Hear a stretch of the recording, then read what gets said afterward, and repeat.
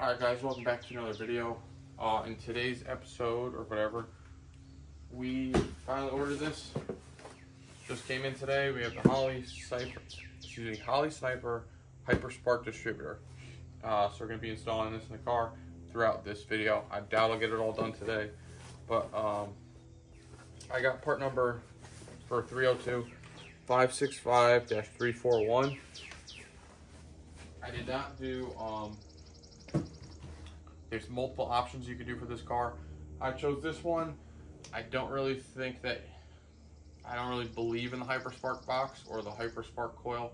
I believe that's all just a gimmick from Holley. They put their brand on something and then they're trying to sell you on it. So to save yourself 800 bucks or whatever all that stuff costs, you can do it this way. So this is just gonna use the stock Fox body coil. I believe I have an Accel aftermarket coil in here now. It'll work on any of those. It'll also work on the old school cylinder coils and then this should be plug and play right to the sniper. And I believe there's one wire we have to wire up and then one ground besides the plugs. So let's get the box open check it out. And um, I'll show you guys how to install it and how we get it all programmed up. All right so I opened this earlier. Um, here's what it comes with. We have our uh, Holley's plastic cap here. This is for um, phasing your rotor I believe or getting the timing all set up in the thing. We have our actual distributor. Now again, this is the HyperSpark 565-341, so it's the one plug, normal uh, small block Ford distributor. And then there's that. Comes with the MSD style distributor cap. Obviously Holley owns MSD, so there's that for you. Comes with um, gear break-in oil, or you can soak this in normal oil, depending on what stage your motor is. Uh, this is already in the car, and I'll be running this shortly, so I'll just probably use normal oil. Normal oil. If this was sitting on an engine stand, I'd probably end up using this. And then, lastly, we have our wiring harness. So everything you just saw me made in the previous video will uh, won't matter anymore because we'll be using this for timing control. So like I said, plugs right into the distributor on this end this will go to your sniper. Um, this goes, like I said, right to the forward coil spot. And then it also comes with ring terminals where you can cut this off and then wire up the ring terminals to go to an old cylinder style coil. And then there's just a couple wires here. One's a ground. And then I guess there's two wires we have to wire up. Besides that, it has a whole pamphlet, uh, which is nice, and it'll show you wiring diagrams based off your style, what you're going for. So here's uh, what we're going to do right here. The wire to it, I'm not using Hyperspark coil, it'll go into any coil. I'm just trying to sell you on that. And then there's the Hyperspark ignition box and all that. Um, if I chose to go with Hyperspark, excuse me, Hyper Spark ignition box, there's a whole other kit that comes with it, and you can buy it all in a bundle, and I probably would have chose that. Um, I don't care to use that, so this should do just fine.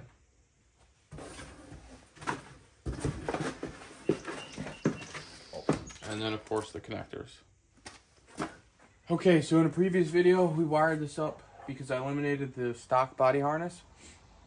And then I made my own harness for distributors. You can see here, this is a ready to run distributor. Contacted Holley and I could get no answer from them if this would work for timing control. So I just ended up bite, uh, biting the bullet and then ended up buying their distributor. Um, this is our stock Accel coil. So we'll be undoing this plug and then I'll be taking out this whole harness. I did use, make this custom harness here, which is our key on and crank on um, power. And this will go right into the Holley harness. So we'll cut this wire and then we'll now connect it to the Holley harness and yeah, so I'm just gonna remove this and then I'll keep you guys updated. With this new setup and this distributor, our yellow wire will no longer be being used. So I'm just gonna clip this and then I'll ravel it up and tuck it back there or I could depin it from the connector at a later date. Um, but I'm just going to leave it as long as possible in case this sniper ever ends up in another car or I decide to change systems on this, whatever it may be. Uh, I always like to leave things so that they could be changed or whatever or applied in. I don't know how to word that. Anyways, let's keep going. Okay, so this is the old harness, which I just made in the previous video, as I stated prior. Um, and we're going to completely eliminate this from the car. And now we'll be using Holley Sniper harness that came with our distributor. Um, so, I mean, starters, I'm going to stab the distributor in later. Um, I just figured I'd get it wired up first and get a nice clean wiring setup because all the distributor needs to do is plug into this. And then since this motor has already been running, um, I believe it's set at 10 degrees timing right now, and the uh, computer's programmed 10 degrees, so they match. I'm going to turn this to cylinder one, take off the cap, turn this to cylinder one, and then pull out the first spark plug, and then when it blows out on my finger, I'll know it's not 180 out, but that's the best way I'll find top dead center. Or you could always just pull the distributor out, uh, put a screwdriver or something, and watch the piston and the screwdriver pop out as the piston rises. Um, or the best way to do it is to get a top dead center tool where it's either a whistle or a gauge or whatever, and uh, it'll let you know. Anyways, let's get this installed. Um, that's just my two cents on this. I'm used to setting up my car harness going up the front of the motor. Um, and I essentially like all my wires to go out one way. But the way the length of the wires is white will go to the white wire coming out of the sniper harness already. Pink is your key on switch ignition bolt. So mine's right here currently. And then black is your ground. And they, they don't give you much length for ground. Although I guess the longer the wire, the more it'll uh, have a lower resistance over time.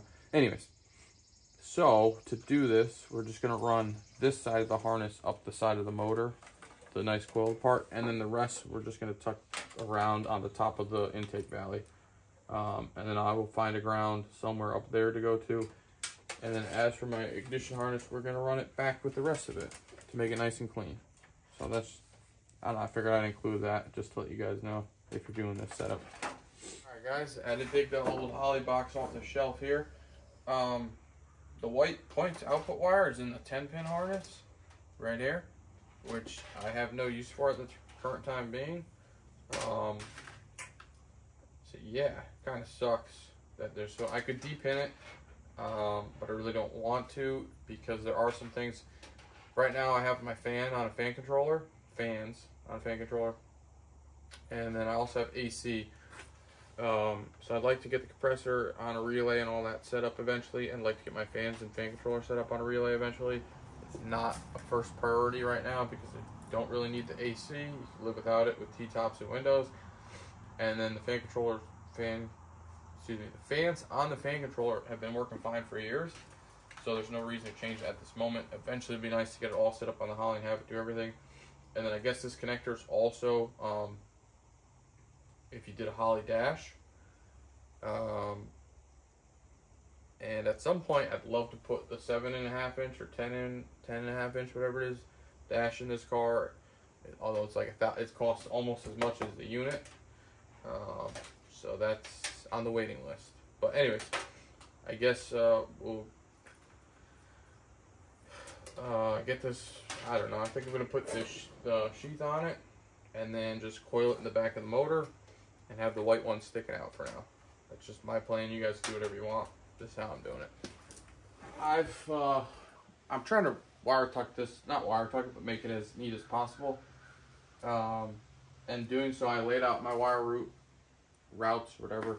Now I pulled it all back out. I already wired this connection, and like I said, um, I do love using these things, but I always just do a little bit of electric tape over them as a precautionary measure um, for insulation purposes in case you melt through it with a lighter because you're supposed to use a heat gun, which unfortunately I don't have one. Anyways, long story short, I laid it out in the car, I pulled it back out, now I'm going to wire it all together, and then I have some Tesa tape, so I'm going to go and I'm going to make this all nice and clean, or cleaner than it is. Um, so I just, uh, I'll run a time lapse now, and uh, show you guys the process.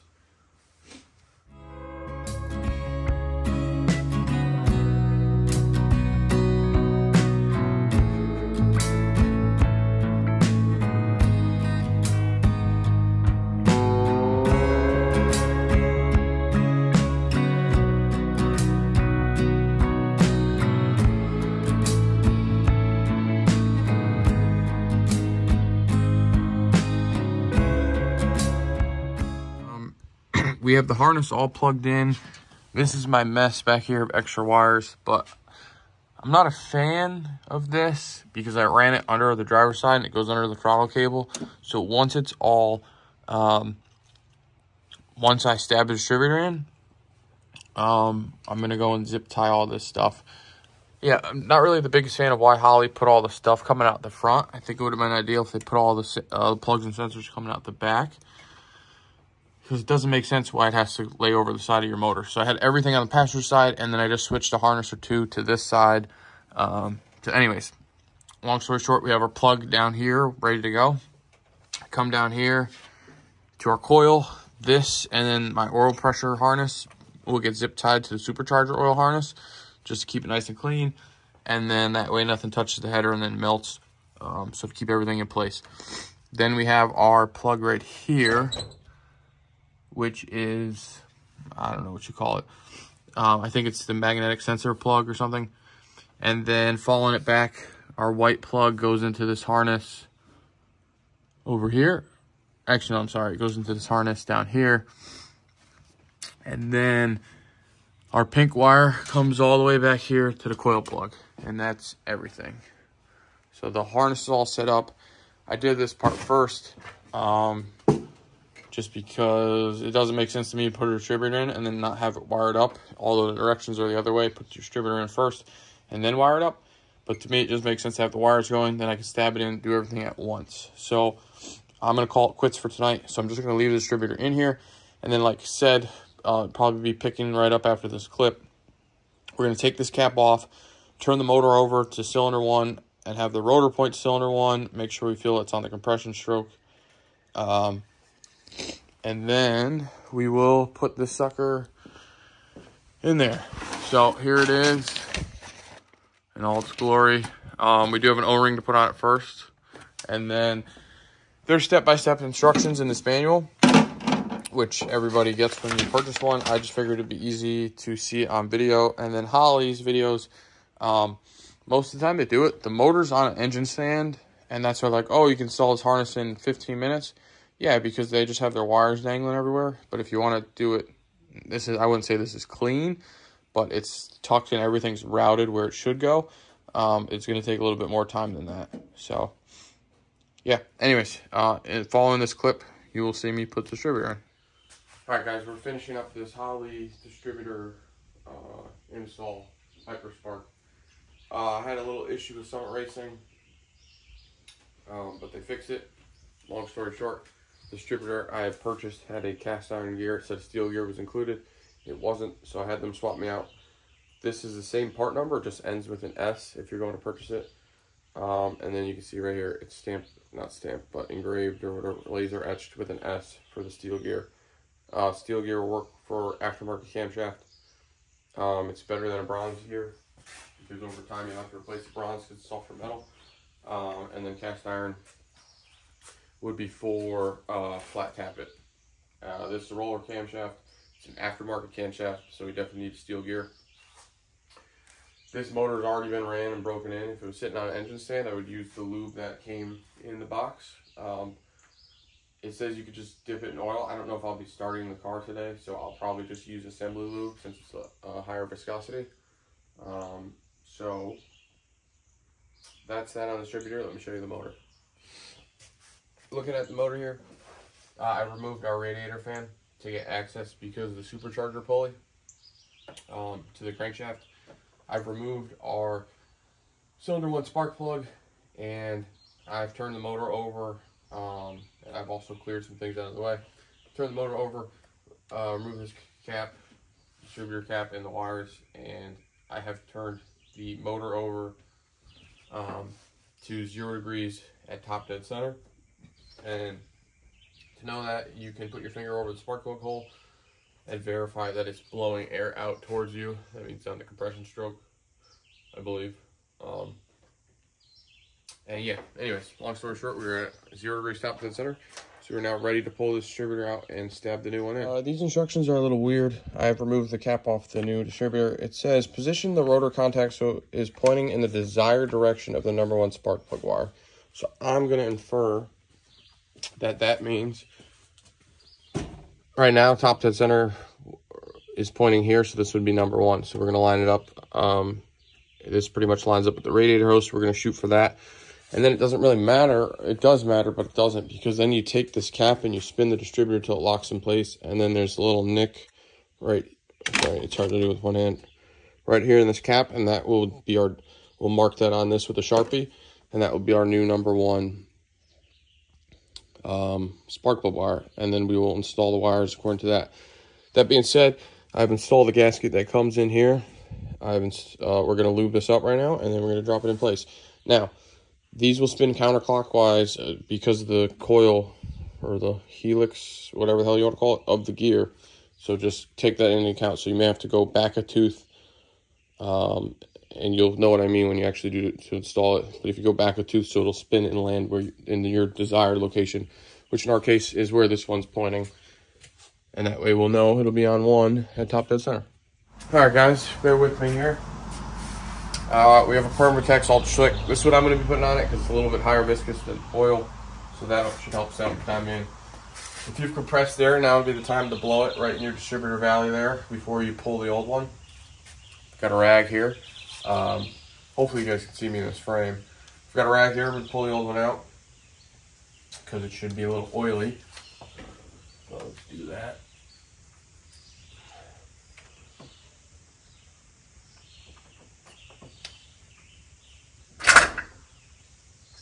as you pull this one out, you can kind of see where the top points, and that's where may help you determine where you need to go. So here we go. This one's actually a lot heavier. So this distributor ready to run that we're pulling out. Very similar, just isn't doesn't have the chip that this new one has. So we'll put this aside.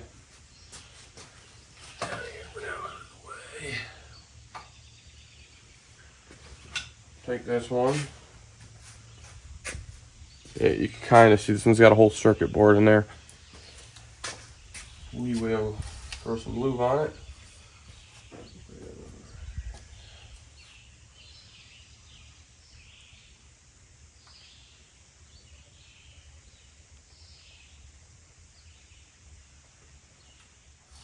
Okay, had to mess with it a little bit, but we've got it where we want, so I'll show you that now. All right, so we can see I have the thing lined up as best I can. I was messing with it for a little bit of jumping teeth. Um, so now we're gonna take our clear cap on it, right here, and we spin it till everything lines up. So this, we'll set it like that. Now we will rotate, is hard to do this with one hand, the distributor.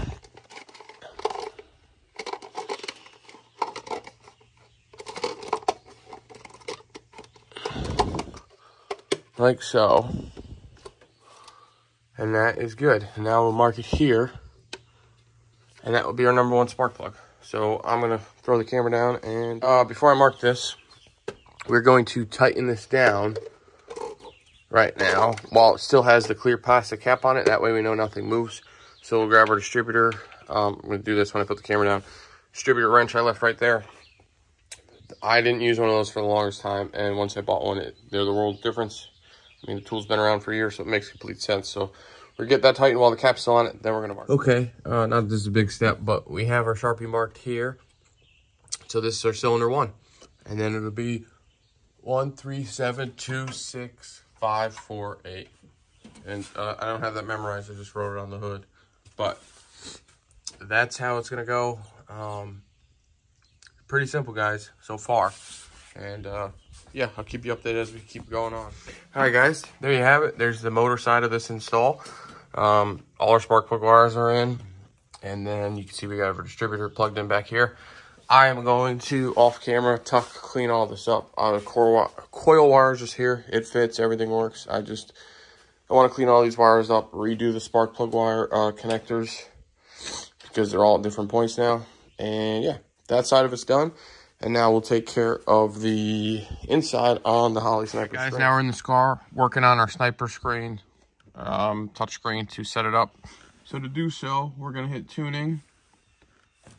Oh, sheesh. Tuning, system,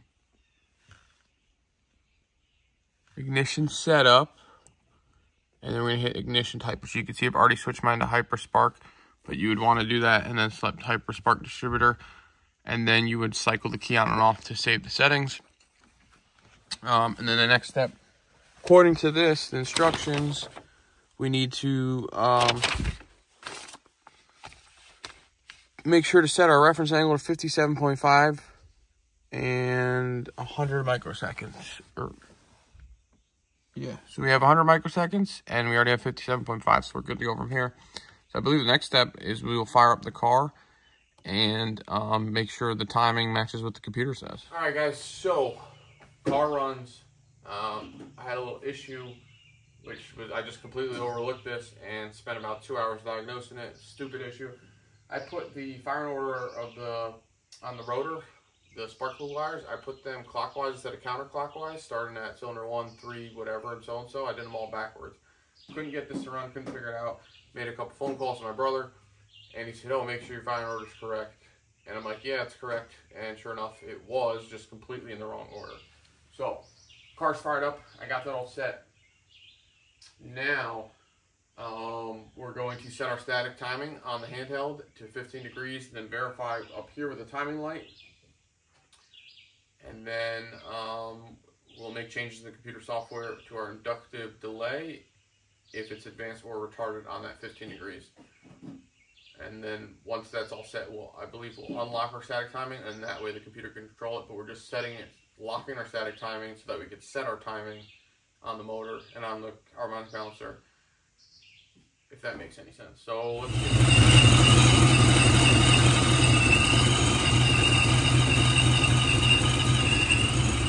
This was a long video, I'm sure, um, but we did everything from installing the distributor into the motor. We have that locked into place. I did have to adjust it when I was um, to get it on the 15 degrees. But That's all set. 15 degrees was locked with static timing, which I've now cleared in the computer. So this is all in time. Everything's good. Um, now I just need to install my radiator fan back in there, which I waited to do that because with the radiator fan, I cannot access the crank pulley. Uh, car runs. Eventually I'll drive it. Um, I have a couple other issues with the blow-off valve or whatever that I got to handle, adjust that. Um, but yeah, that's how you put a Holley Hyperspark, Holley Hyperspark distributor in the car. Like I said, in this video, we went the cheap route where we didn't use Hyperspark ignition. We just wired it straight to the coil, um, our factory coil, which mine's been replaced with an Accel, but same concept there. Hopefully this helped. Um, anyone who's doing the job, if you guys have any questions, comments, or concerns, please drop them below. Let me know. And if you haven't, please like, comment, and subscribe.